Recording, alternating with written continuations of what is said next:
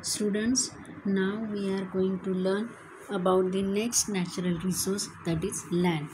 मुलांना आता आपल्याला जमीन या दुसऱ्या नैसर्गिक साधनसंपत्तीविषयी माहिती घ्यायची जमीन कशी बनलेली असते आणि तिचे आपल्याला काय काय उपयोग होतात हे आपण बघणार आहोत land is form of stones soil big rocks etcetera जमीन ही दगडांनी मातीने आणि मोठ्या मोठ्या खडकांनी बनलेली असते. It is not same everywhere ती सगळीकडे सारखी नसते. समटाईम्स स at some places land is hilly and at other places it is flat काही ठिकाणी जमीन ही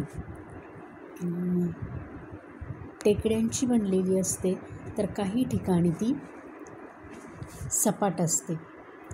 All terrestrial animals live on land सर्व भूचर प्राणी जमिनीवर राहतात. Man also live on land मनुष्यसुद्धा जमिनीवर राहतो.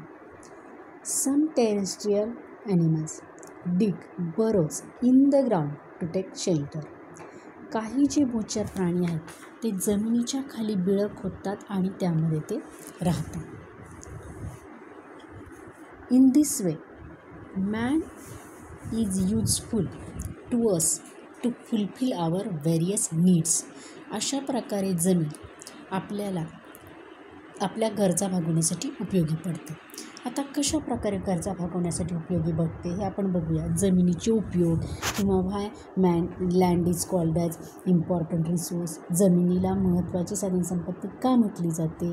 किंवा which are the uses of land किंवा जमिनीचे महत्त्वाचे उपयोग कुठले? असे प्रश्न आले तर त्याचे उत्तर लिहिण्यासाठी आपण जमिनीच्या इतर उपयोगांचा अभ्यास करूया. We use land for farming. आपण जमिनीचा उपयोग कशा कशासाठी करतो? फार्मिंग म्हणजे शेती करणे. टू बिल्ड हाऊसेस घरं बांधणे. टू बिल्ड रोड्स रस्ते बांधणे. In this way we use land for various purposes also the plants grows on land are useful to us as our food तसेच जमिनीवर जी वेगवेगळ्या प्रकारच्या वनस्पती वाढतात. त्या वनस्पतींचा उपयोग आपल्याला अन्न म्हणून होतो. आपल्याला तसेच इतर प्राण्यांनासुद्धा जमिनीचा उपयोग जमिनीवर वाढणाऱ्या वनस्पतींचा उपयोग अन्न म्हणून होतो. एवढेच उपयोग आहेत का जमिनीचे? नाही. We get minerals crude oil and natural gas from land आपण जमिनीपासून खनिजे खनिज तेल किंवा नैसर्गिक वायू मिळवतो. Which are very important for us ज्यांचा आपल्याला खूप चांगला उपयोग होतो.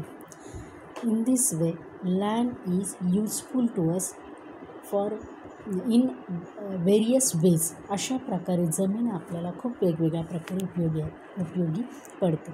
And that is why land is called as an important resource आणि म्हणूनच जमिनीला इम्पॉर्टंट नॅचरल रिसोर्स म्हणजे महत्त्वाची नैसर्गिक साधनसंपत्ती असे म्हटले जाते.